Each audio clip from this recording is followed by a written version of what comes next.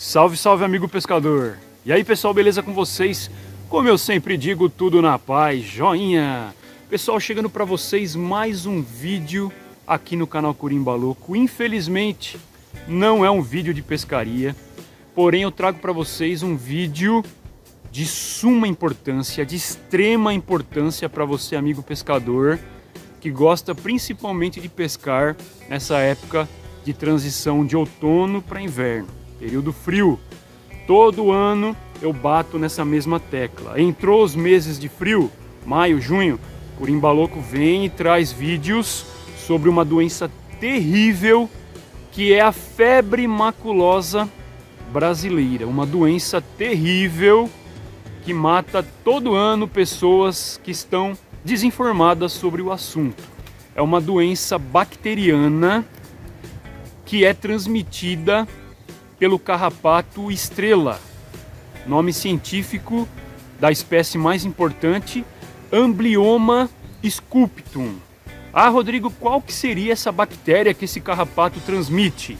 O nome dela é Rickettsia rickettsii, portanto, é uma doença bacteriana transmitida pelo vetor carrapato estrela, que por sua vez tem como hospedeiro as capivaras e outros animais também, como por exemplo cavalo, gambás, outros animais é, canídeos, né, lobo-guará, cachorro do mato, que são silvestres. Esses animais albergam o carrapato estrela, que por sua vez transmitem o agente etiológico, né, a Rickettsia rickettsii, que traz essa doença terrível que é a febre maculosa brasileira. Ah, Rodrigo, eu gostaria de saber como que eu pego essa doença. Basta você ser picado por um carrapato estrela infectado. Em qual ocasião? Durante a pescaria, que você está às margens de um rio, de um lago, e lá tem o bendito carrapato estrela infectado com a bactéria Rickettsia. Pergunta que não quer calar, Rodrigo, todo carrapato estrela está contaminado com a bactéria? Negativo, pessoal. Vamos supor assim que a cada mil carrapatos, dois estejam infectados com a bactéria. Então, é uma roleta russa. É uma loteria de sorte, não, de azar, porque você vai ser picado pelo carrapato infectado. Não é regra, tá, pessoal? Não existe um número exato mas uma pequena porcentagem está contaminada. Porém, quando estamos pescando, não se damos conta e muitas vezes somos picados por inúmeros carrapatos. Né? Então, a gente tem mais chances de ter sido picado por um carrapato infectado. Ah, Rodrigo, mas aqui na minha fazenda, onde que eu pesco, no rio, no riacho, é, eu sou picado apenas pelo miquim. Ah, o miquim não é o carrapato estrela. Negativo, meu amigo. Pelo amor de Deus, tire isso da sua cabeça. O miquim é a larva do carrapato estrela. O carrapato estrela, ele tem um ciclo, que é o adulto que coloca o ovo, depois o ovo eclode, o ovo eclode vira larva, que no caso a larva é o miquim. O miquim precisa de um hospedeiro, no caso uma capivara ou outro animal, para se alimentar de sangue e crescer. Aí ele se transforma no vermelhinho, que é a ninfa, que é a fase posterior do carrapato, que por sua vez se transforma no carrapato adulto e se recomeça todo o ciclo. Aonde que entra o ser humano aí no meio? O carrapato não distingue se você é uma capivara ou se você é um cachorro do mato, ou se você é um ser humano. Ele está lá para se alimentar. E tanto na fase de ninfa, que é o vermelhinho, como na fase de larva, que é o miquim, como também na fase adulta, propriamente dita carrapato estrela, ele vai se alimentar de sangue e ele pode estar contaminado e é nesse momento que o ser humano está lá pescando, trabalhando na zona rural, em área de mata, ou mesmo passeando em áreas urbanas mesmo, de parques, que tem a presença da capivara e do carrapato contaminado, é picado por ele e acaba se infectando com essa doença terrível. Ah, Rodrigo, eu fui picado então pelo miquim, pelo vermelhinho, estou com uma coceira tremenda. Eu estou com febre maculosa brasileira? Não, pessoal. Tecnicamente você não está com a febre maculosa. A coceira é um sinal, né, de defesa do nosso organismo pela picada do carrapato. O que, que vai resolver ali? Uma pomada, uma compressa, um banho quente para soltar os carrapatos. E se você tiver muita alergia, procure um serviço de saúde. Ah, Rodrigo, mas aonde mora o perigo? Quando você foi picado por carrapatos e de 2 até 14 dias depois do contato com ele, você apresenta febre alta. Aí você acende um sinal de alerta muito grande aqui na sua cabeça. Nesse momento, você procure ajuda médica rapidamente. Vai lá no médico, no pronto atendimento eles constataram a febre alta, você fala que você foi picado por carrapatos e esteve em área endêmica de febre maculosa brasileira, tá? Principalmente o pessoal aqui da região de Campinas, Piracicaba, onde tem é, a maior incidência dessa doença aqui no estado de São Paulo. Então procure ajuda médica e nesse momento o que vai salvar a sua vida é justamente isso: você informar para o médico que você foi picado por carrapatos e esteve em área de infestação deles e a presença também de capivaras. O médico vai ficar bem esperto e ele vai entrar com o protocolo correto. Se ele achar conveniente, os exames de febre maculosa brasileira e ele já vai entrar com antibiótico específico e aí todo o protocolo vai ser gerado e você vai estar monitorado corretamente. Qual que é o erro do pescador que está pescando na beira do rio e vai para casa? Ele vai infestado de miquim, ou de carrapato grande, que é o adulto, ou de vermelhinho.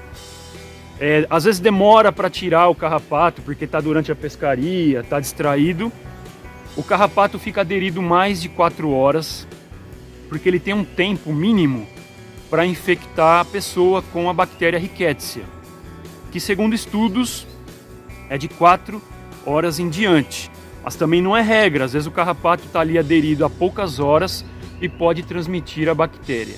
Portanto, estamos distraídos e não percebemos ali o carrapato. Às vezes vamos deitar e o carrapato lá aderido 12 horas, 24 horas, está contaminado, a bactéria vai para o organismo e a pessoa vai trabalhar, não sente nada, depois de dois, três dias começa a ter febre, dor de cabeça, mal-estar, ou às vezes se prolonga até um pouco mais o período de incubação, 5 dias, 7 dias, até 14 dias. Começa os sintomas, aí ele vai na farmácia e pede um analgésico. Vai lá, toma um paracetamol, um remédio antitérmico, acha que é uma gripezinha, um resfriadinho, vai passando, aumentando a febre, quando se vê a bactéria já está espalhada pelo organismo, passou do epitélio do corpo dele, né, da pele, vai para órgãos, causa infecção generalizada e a pessoa entra em óbito muitas vezes antes de chegar no hospital. Isso mesmo, as pessoas ficam em casa, deitados, de cama ali, e acabam morrendo sem saber que estavam infectados por essa bactéria terrível. Então o erro é esse, você não procurar ajuda médica e achar que é uma gripezinha. Deu febre, foi picado por carrapato, mesmo que a febre seja baixa, procure um serviço de saúde. Isso pode salvar a sua vida com certeza. Eu vou mostrar para vocês agora, pessoal, na prática, onde que o carrapato se encontra, principalmente aqui no rio Atibaia e também serve para outros rios daqui da região, Piracicaba, o rio Camanducaia, Jaguari, etc. Vamos lá, vou mostrar para você aonde que eles ficam. Primeiro local, pessoal, que pode ter aglomeração de miquins, principalmente nessa época do ano. Estou aqui, ó, tanquinho. Quem lembra do tanquinho aqui que a gente coloca os peixes, né? Para tirar foto e soltar. Ó, essa área aqui é lotada de bambu, é um bambuzal. Então essa palha seca aqui, ó, é local ideal para proliferação do miquim. Eles ficam aderidos embaixo das folhas secas, principalmente nessa área de bambuzal.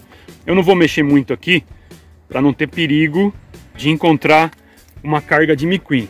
Então toda essa vegetação que está caída aqui, galhos secos, é, as folhas do bambu, pode ter o carrapato aderido, mesmo no concreto aqui, em certas épocas, como em junho, julho, que venta bastante.